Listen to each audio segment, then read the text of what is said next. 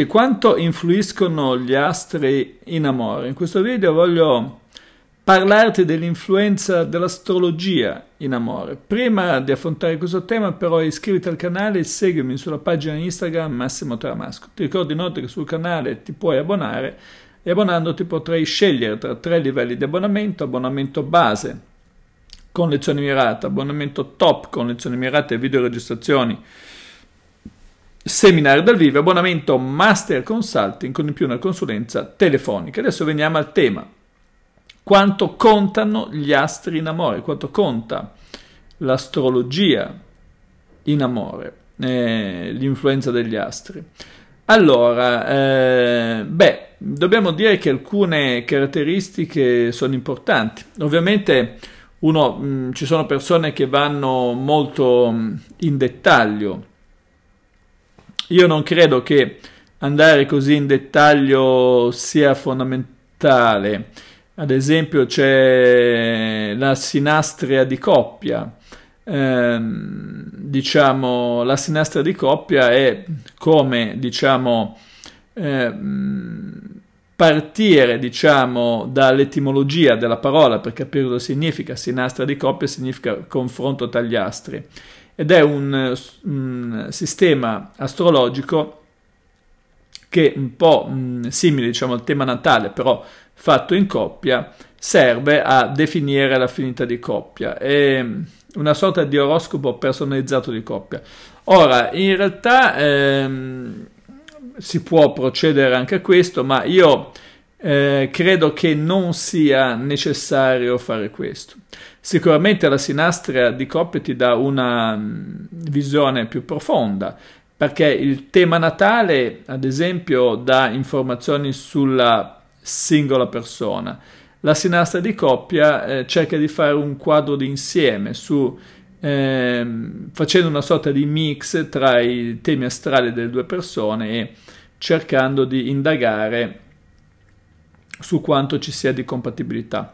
Ora, io non penso che sia necessario questo, anche perché comunque quando una coppia arriva a fare una cosa del genere è perché già eh, comunque ha mh, mm, realizzato un eh, diciamo ha già intrapreso un percorso di coppia. Certo, uno dice io lo posso fare eh, di nascosto dall'altra persona, basta sapere quanto, eh, quanto diciamo, quando è nato esattamente l'ora, la data, eccetera, il luogo, che poi magari non è neanche, uno può chiedere, dice tanto per, per la storia dell'ascendente, però diciamo che da un punto di vista poi karmico non sarebbe neanche tanto corretto farlo all'insaputa dell'altra persona. E comunque non eh, potrebbero essere dei risultati davvero fuorvianti nel senso che esiste sempre il libero arbitrio. Io credo che l'astrologia di coppia sia utile più a livello di gioco, come tutte le tecniche, perché eh, diciamo anche una compatibilità di un certo tipo, una visione, diciamo, ehm, eh, non so, psicologica per dire, non so se gli psicologi fanno dei test di coppia, eccetera, ma poi alla fine lasciano il tempo che trovano, no? Cioè, farsi condizionare dal test non ha senso. Intanto, allora, il discorso è che se una relazione funziona o non funziona, tu te ne rendi conto eh, eh, quando interagisci con questa persona, perché teniamo presente che poi anche piccole variazioni di una persona o dell'altra possono generare grandi variazioni nel rapporto di coppia. Quindi, eh, beh, come indicazioni di massimi invece l'astrologia può essere sicuramente utile. Ci sono segni che è molto probabile che siano abbastanza incompatibili tra loro eh, e segni che sono sicuramente più compatibili. Eh, ad esempio, eh, un segno eh, di terra come il Capricorno, ad esempio, con i segni di fuoco, non ha tutta questa, eh, per così dire, affinità.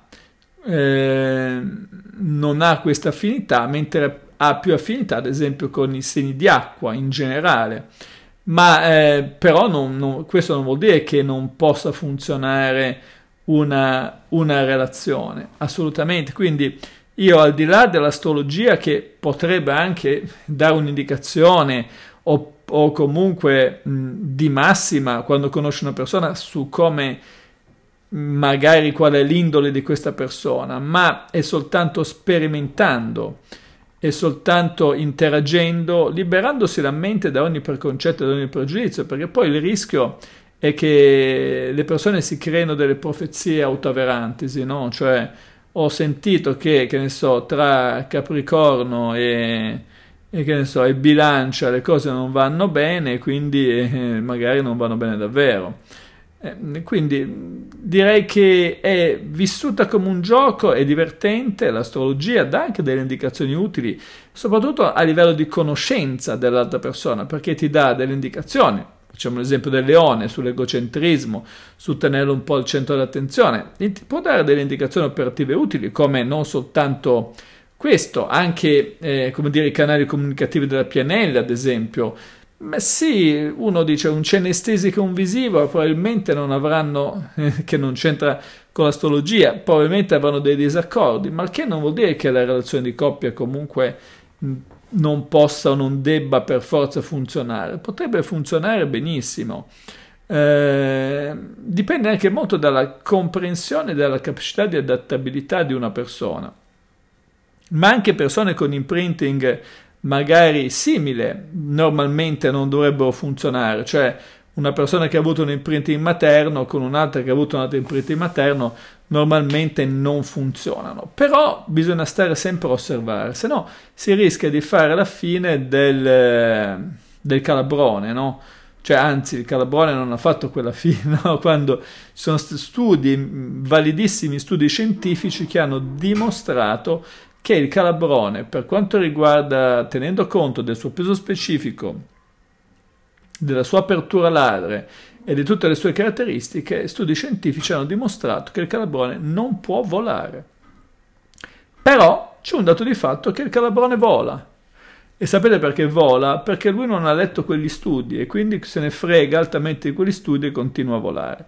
Quindi non lasciamoci condizionare, non lasciamoci condizionare. Noi spesso siamo veramente condizionabili da giudizi. Quindi mh, l'astrologia è bella vissuta come gioco, ma qualunque altra forma, ovviamente, eh, anche la lettura dei tarocchi, eccetera, è bello viverla come gioco, come presa d'atto, ma per adattarsi, per capire un po' chi sia davanti. Ma poi le relazioni possono funzionare o non possono funzionare, indipendentemente da tutto. Bene, per questo video è tutto. Se ti è piaciuto metti un like, iscriviti al canale, seguimi sulla pagina Instagram Massimo Teramasco. Ti ricordo che sul canale ti puoi abbonare, abbonandoti potrai scegliere tra tre livelli di abbonamento, abbonamento base con lezioni mirate, abbonamento top con lezioni mirate e video registrazione seminari dal vivo, abbonamento master consulting con in più una consulenza telefonica. Ciao a tutti!